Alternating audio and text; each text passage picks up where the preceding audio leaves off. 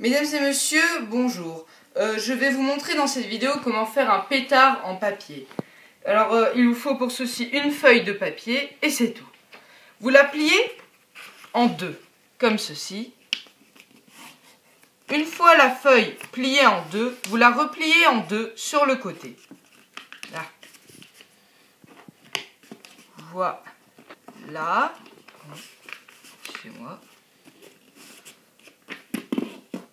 Une fois qu'elle sera pliée, vous l'ouvrez. Pardon, excusez-moi pour ça. Voilà.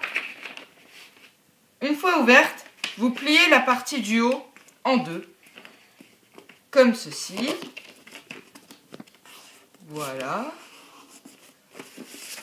Ensuite, vous repliez comme ceci.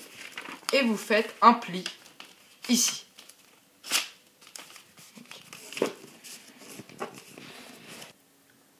Le résultat final est ceci.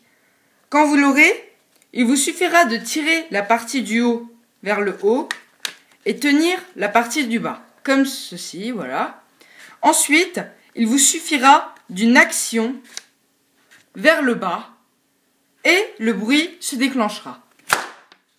Voilà, vous, avez vous savez désormais fabriquer un pétard en papier. Au revoir